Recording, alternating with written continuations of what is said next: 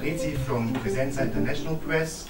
Um, Mr. Gorbachev, tomorrow uh, there will be handed over a Charter for a World Without Violence, March for Peace and Non-Violence. What are the backgrounds um, of this, of this handing over, of this Charter, and um, how peace and non-violence could be spread from the base of the society?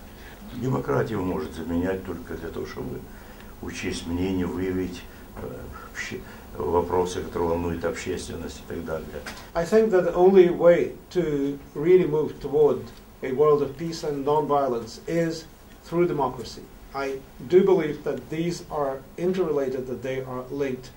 The governments, the states, for centuries have been using force and violence. And it is difficult for them to abandon those methods. But we are seeing more and more that those methods no longer work.